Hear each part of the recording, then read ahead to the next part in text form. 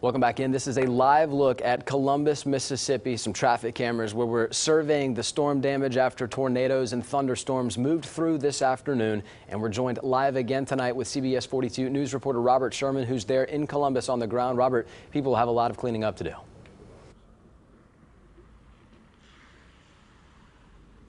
They certainly do, and one of the residents who I spoke to may have even put it best. It seems though that the further and further you go, the worse and worse it gets. I just want to show you this right over here.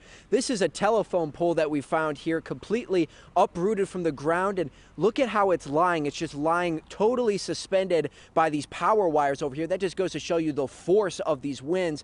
We spoke to the owner of uh, this house that's just over here by this power line, a man named David Sanders, who says that his home was built, it was has been in his family since 1912. His grandfather built it, and both he and his father were born here. But the winds that came through and ravaged this family heirloom, he describes as the perfect storm. I think it was a straight wind. I don't believe it was really a tornado.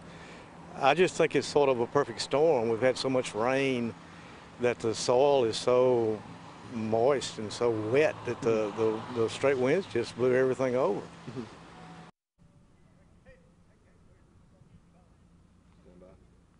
And we've been trying to reach out to officials to get more information as to exactly how much damage there is here and if there are any injuries. We have not heard back from those officials yet, but we'll update you as promptly as possible as we gather new details. But for now, reporting live in Columbus, Mississippi, Robert Sherman, CBS 42 News, local coverage you can count on.